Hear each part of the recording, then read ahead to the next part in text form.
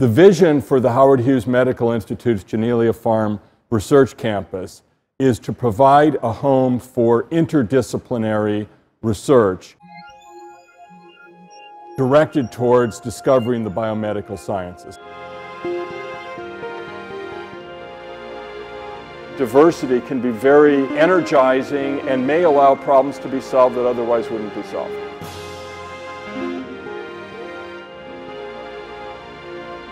We want to make this a place for visitors to come from all over the world.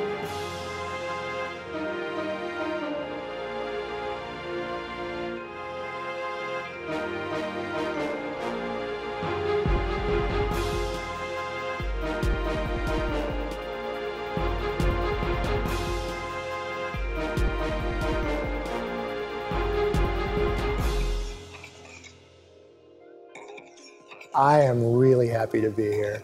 This is like Christmas to me.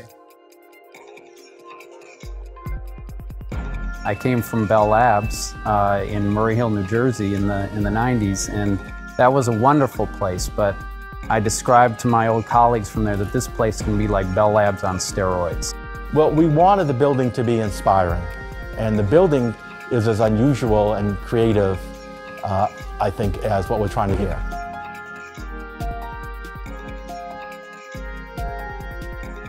The first lab I worked in was in the basement. It was pitch black, it was gloomy, it was dark in there all the time. And this lab has incredible light and is gorgeous, and you don't feel badly about being indoors on a day like today. Um, you look out the window, you go for a walk. Um, I think being in open space makes you happy to be here. I think this place will, will, will be all about discovery. Um, I think that this is the driving force. This is what um, they want us to do. I think they want us to completely take really complicated approaches, ask complicated questions, and discover something really interesting.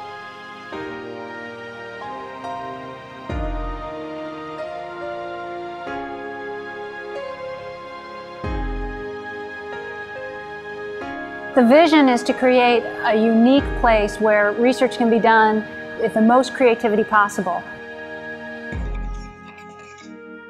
I won't go so far as to say that it's a unique model. What we're really doing here is recreating what the best environments were in other institutions. This design by Rafael Viñoly was selected because of the way it's integrated into the landscape. We always go like this when we talk about it, but it's, it's curved into the landscape. Um, when you drive up to it, you can't see it from the street because it's terraced into the hillside. Um, and that's one of the things that makes it so special.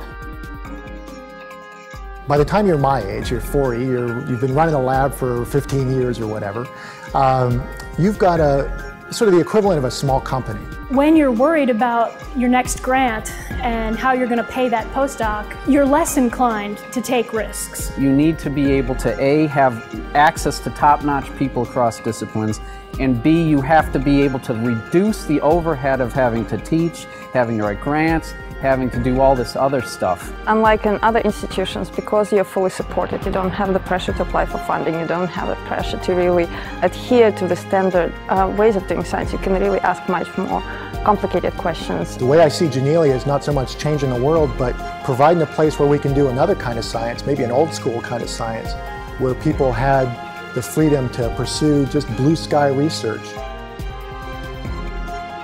When we see something which is currently out of reach of current science, it's not even clear you can stretch enough to get there. If there's a huge reward and the risk is high, then you say, aha, that is the kind of project that we have to think about as being appropriate for this campus.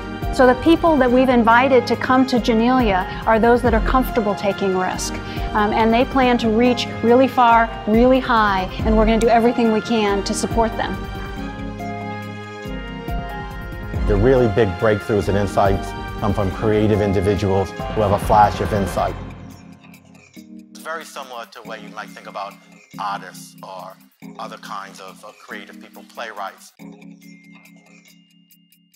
They have an inspiration for a great plot. They wake up in the middle of the night and write it down. It's the same thing with scientists.